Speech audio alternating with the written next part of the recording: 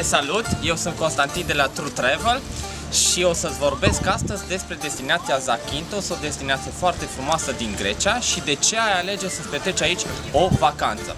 Insula Zakynthos este renumită în primul rând pentru plajele sale, largi, cu nisip fin, dar și pentru vegetația luxuriantă, bogată în plantații de măslin, păduri de pin sau pentru forma rară a cărui emblemă o reprezintă testoasele Careta Careta. Insula Zakynthos este adorată în special uh, datorită plajelor superbe care și-au păstrat frumusețea naturală.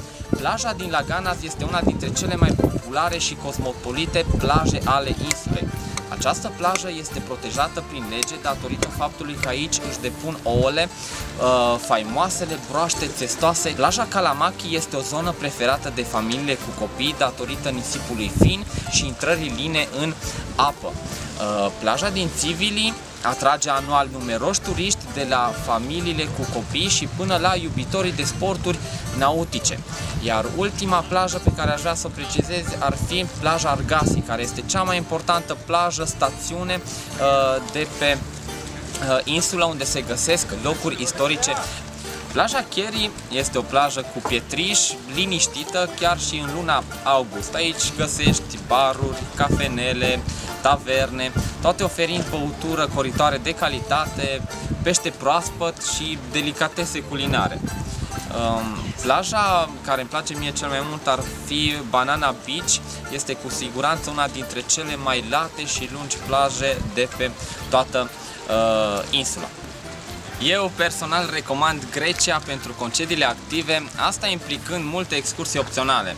Vine vorba de excursii opționale, mă gândesc la Marius, care este ghidul local de pe destinația Zakynthos. Marius, ce ne poți spune? Salut! Uh, ce le place turilor, turiștilor să facă aici, în Grecia, în Zakynthos? În primul rând, insula are foarte multe de oferit. Poți face nenumărate lucruri, de la o plimbare cu barca pe cont propriu, excursiile în afară, în exterior, să, unde ai ocazia să vezi apa turcoaz, albastră, uh, verzuie, nici nu se hotărăște ce culoare are. Da? Foarte serios vorbesc. Și cred că ai văzut, că ți ce aminte zilele trecute. Una pe lucrurile albastră, turcoaz, mai în vară încolo, da, mai în vară încolo devine toată la liniona se chiar verzuie, așa, da, un verzuie de la fosforescent, foarte, foarte, foarte uh-huh. frumos. Sunt foarte nenumărate, uh, vă spuneam, uh, croaziere pe care le poți face aici. La Navagiu, da, unde ai ocazia să vezi, bineînțeles, uh, plaja Ipavei, foarte frumoasă. De ce? Mai cel puțin cu mine lumea nu se plictisește. Avem concursuri pe vas, avem concursuri de sărituri, de dans, uh, ofer ceva uh, pentru timpul omului, să zic așa. Da? Omul fără timpul lui, eu îi ceva să umplu acel timp, nu stai și te uiți, doar vezi și, nu te, și te plictisești. La Navajo cred că ar fi de precizat că sunt două excursii, una cu barca în care ajungi jos la plajă și una în care uh, oferiți un tur cu autocarul să își poată fotogra- să se poată fotografia. Uh, cel puțin excursiile pe mare pe care le fac eu și pe exterior sunt le împărțim în două. Avem la Navajo, pe partea de nord-vest uh, acolo și una aici pe sud. Da?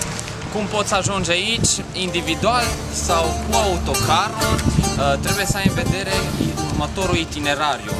Pentru plecarea din București se traversează Giurgiu, Ruse, Sofia, Promahonas, Salonic, uh, Patras și Chilini. Uh, traseul din București până în Chilini are o lungime de 1200-1250 de km și se parcurge în aproximativ 18-20 de ore. Uh, din Chilini se traversează cu feribotul și călătoria durează cam o oră, o oră și 15 uh, minute.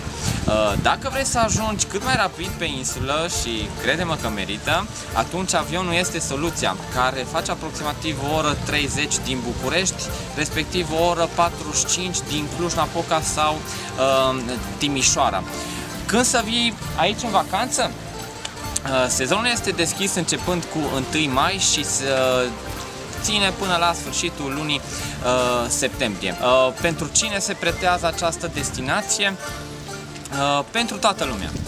Tineri, uh, familiști sau uh, pensionari, tuturor le va plăcea destinația uh, Zakynthos. Uh, iar acum, părerea mea personală despre această insulă uh, e următoarea.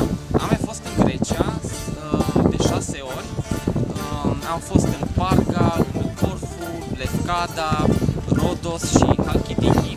Uh, de data aceasta am venit în grup de 32 de, de persoane, 32 de târgureșeni mai exact și poate sunt puțin subiectiv când spun că în Zakynthos mi-a plăcut chiar cel mai mult.